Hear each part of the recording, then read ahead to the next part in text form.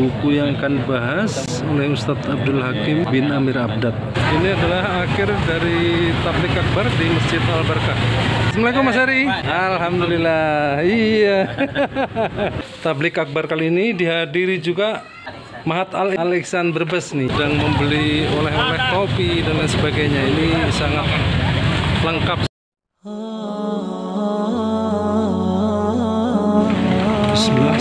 Assalamualaikum warahmatullahi wabarakatuh. Alhamdulillah, wassalatu wassalamu ala rasulullah. Kali ini saya akan mengajak sahabat kuliah melihat suasana tablik akbar Ustaz berdatangan di sekitar Masjid Al-Barakah Ini banyak, warung.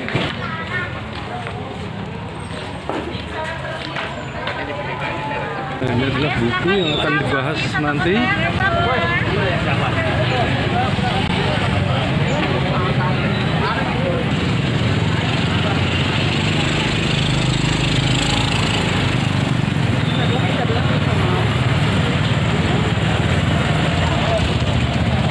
Nah ini para jamaah sudah mulai berdatangan saat setengah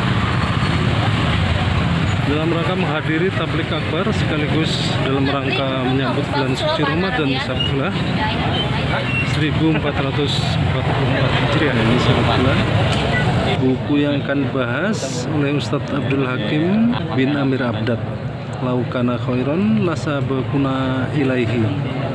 Kalau sekiranya perbuatan itu baik tentulah para sahabat telah mendahului kita dalam mengamalkannya Nah ini terbitan pertama nih sahabat belah yang sekarang dijual dengan harga 100.000 nih Pak sekarang harganya. Sekarang tahun dulu berapa? Iya. Ini cetakan pertama tahun 2005 bertepatan dengan 1426 Hijriah. Dan apa-apa yang Rasul berikan kepadamu maka ambil ambillah terimalah. Dan apa-apa yang Rasul larang cegah. Kamu dari mengerjakannya maka berhentilah atau tinggalkanlah. Al-Hasyr ayat 7 Nah ini terbitan awal tahun 2005 sahabat belah Ini sampulnya seperti ini. Nah, Ini yang akan dibahas oleh Ustadz Abdul Hakim bin Amir Abdad. Hafidahullah pada tema kali ini yakni laukana khairon lasabakuna ilahi pada tablik akbar kali ini di Masjid Al Barakah Cilengsi. Nah, ini punya Bapak. Siapa Pak namanya Pak? Pak Amir. Pak Amir dari Setu ya. Masya Allah. Berkah Pak ya. Kita menghadiri kajian ini. paling pertama ini kita kita diosongkan ini dan mohon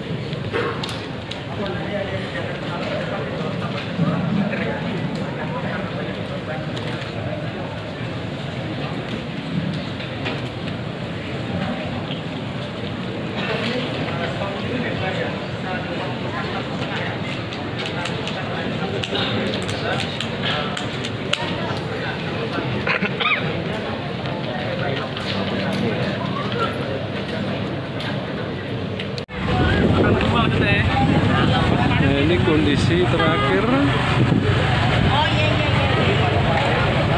Wes, kan ya. Sambil Mbak sambil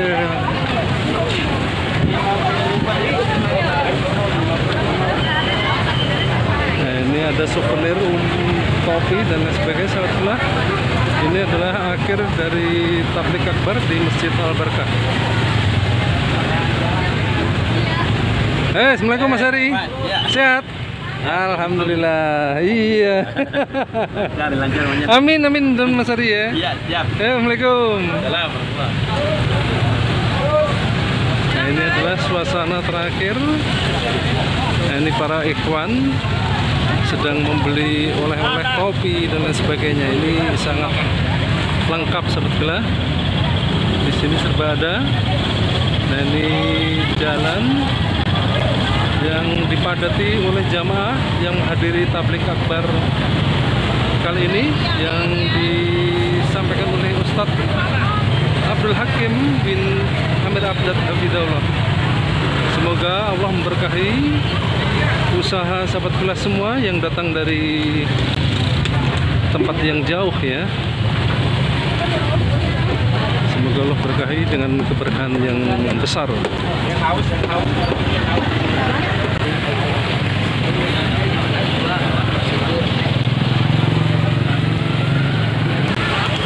Nah, ini alhamdulillah Ahmad telah para Ahmad juga sudah membubarkan diri. Masya Allah, semoga Allah memberkahinya.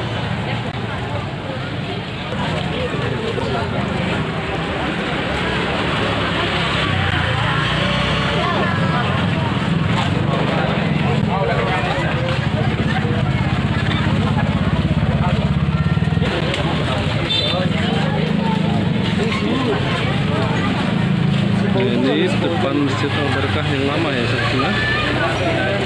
Sudah ini mahal tulisan berbes. Nah ini tablik akbar kali ini dihadiri juga ini pesan dari pesantren Mahat Alexan ya, Alexan Brebes nih. Nah ini ada berapa orang santrinya? 18 yang 18 orang. Nah, ini hadirnya adalah Ustadz Suhub Subhani. Ini Mas siapa namanya? Indra Indra yang satu? Nikal Haikal. Satu siapa nih? Abdurrahman Abdurrahman. Nah, sini Mas Apa Iqbal? Iqbal. Nah, ini Nirwana nih. Nah, ini SMP Al Ihsan Brebes. Nah, ini Masya Allah tablik kabar kali ini dihadiri santri dari Mahat Al Ihsan Brebes.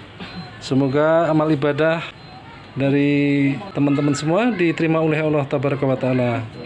Dari jauh mengikhlaskan waktunya hanya menuntut ilmu. Insya Allah Allah dan berikan keberkahan yang besar. Jazakallah khairan. Salam buat Ustadz Suf Subkan ya. Salam semoga penuh keberkahan. Beliau memimpin Pondok Al